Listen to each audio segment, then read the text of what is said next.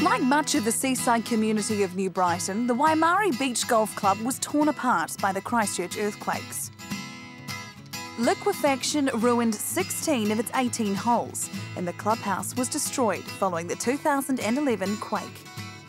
Three times the members attempted to rebuild, and each time a major aftershock jolted them back to square one. Following three traumatic years, the members have rebuilt their course and their clubhouse. No club is more deserving of an ANZ community grant than Waimairi Beach, so I've brought along some friends to help spread some cheer. Okay, everyone, do you want to come round here? Come on in. Let's get the show on the road. Do you know a little lady called Lydia Ko? Hands up if you know Lydia Ko. Well, these dudes here, they actually coached Lydia Ko for a lot of her golfing career, so how impressive is that? And they are here today to help you swing it a little bit like Lydia. Are you excited about these guys coming to help you guys out? Yes! Yeah, goodness for that. So I'm going to hand you over now to Guy and Craig, and they're going to tell you what you guys are going to get up to today. How many of you want to be a better golfer? at the end of today? Everyone? Perfect, you're in the right place. We have one rule here. You must hit the ball as hard as you can. How many of you want to drive the ball real, real far? Yeah? Okay, fantastic. The Christchurch earthquakes not only wiped out the course and clubhouse, but much of Waimairi Beach's membership. Nearly 300 golfers left the club following the quakes, so getting youngsters involved is an important part to the club's rebuild. I'm joined now by the woman who is the reason that we are here today. Joe, you applied for the ANZ grant. You got it. Tell us a bit about why you applied.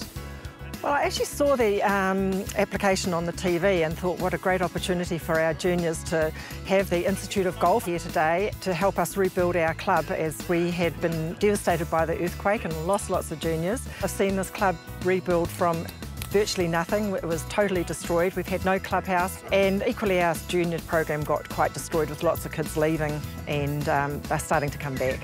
What part of your body are you going to make max power from? Yes, hips. Three, two, one, go.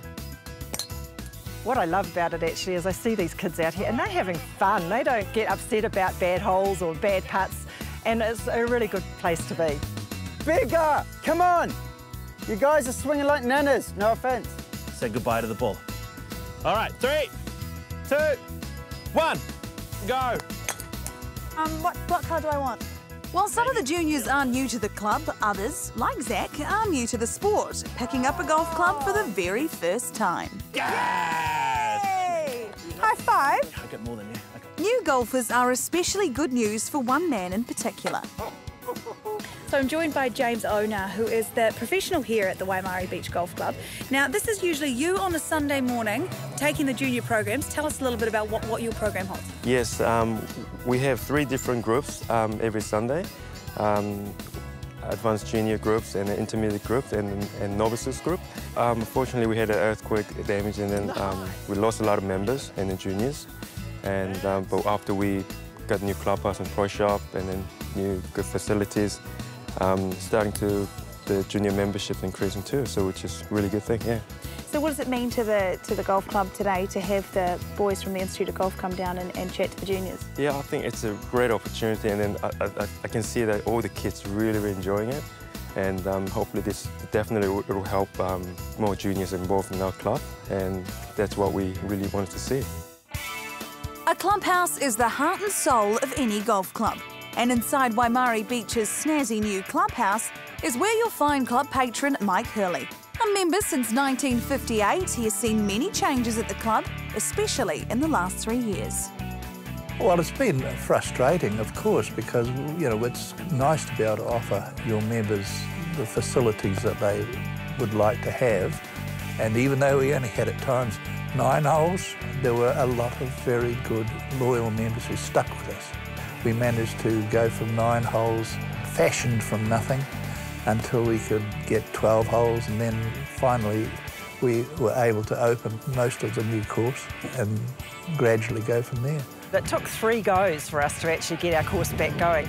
We had it um, initially after the first earthquake, we spent a lot of money and got it up and ready and thought we were going to open and then the second one hit and um, got it up and going again and then the third occasion hit.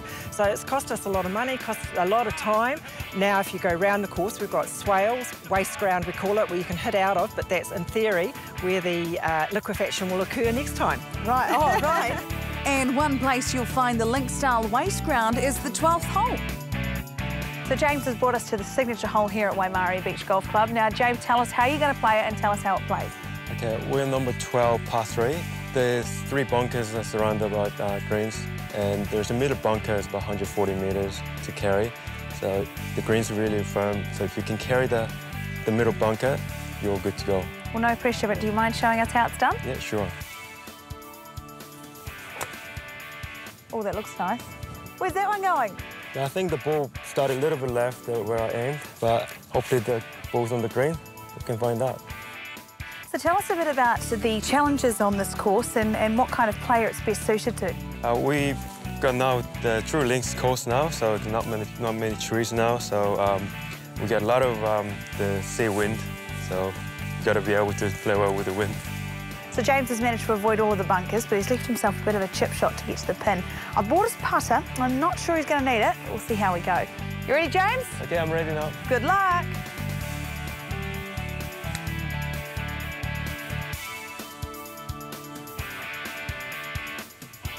I think I bought this.